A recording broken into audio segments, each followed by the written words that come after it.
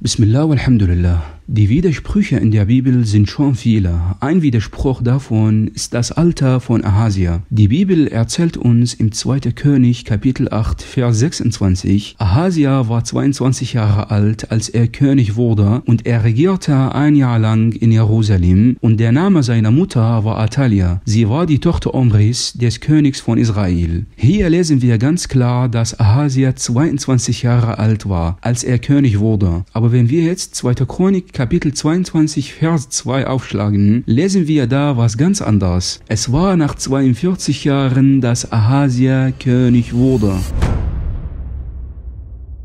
Es war nach 42 Jahren, dass Ahasia König wurde und er regierte ein Jahr lang in Jerusalem. Und der Name seiner Mutter war Atalia, eine Tochter Omris. Einfache Mathematik. 22 ist absolut nicht gleich 42. Das ist hier ein klarer Widerspruch in der Bibel. Das bedeutet denn, dass die Bibel verfälscht wurde. Es gibt andere Übersetzungen der Bibel, die das Alter von Ahasia in der Bibel geordnet haben. Das ist hier zum Beispiel die Einheitsübersetzung der Bibel. Sie haben die 22 Jahre alt in den beiden Texten ausgewählt. Sie haben die 42 Jahre weggenommen. Die neue Weltübersetzung der Bibel von Zeugen Jehovas haben auch gleiche getan. Sie haben die 22 Jahre alt in den beiden Texten genommen. Das heißt, es gibt hier einige, die diesen Widerspruch einfach zugelassen und es gibt andere, die den Text geordnet haben. Dieser Widerspruch und das, was die einige Leute korrigiert haben, ist ein Beweis, dass die Bibel verfälscht ist. Normalerweise sollte es in der Bibel keinen Widerspruch geben, weil Paulus im 2. Timotheus Kapitel 3 sagte, alle Schrift ist von Gott eingegeben und wenn alle Schrift von Gott eingegeben wurde, dann sollte es gar keinen Widerspruch geben.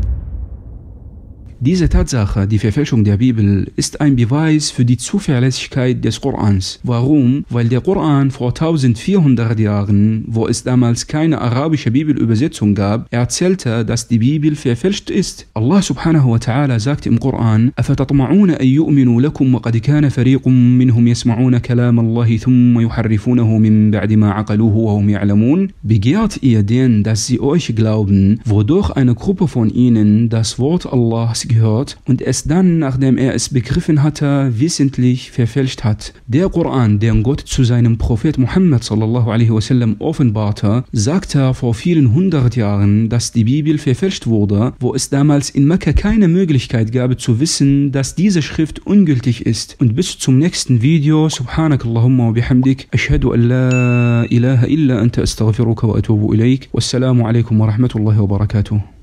ياسين والقرآن الحكيم إنك لمن المرسلين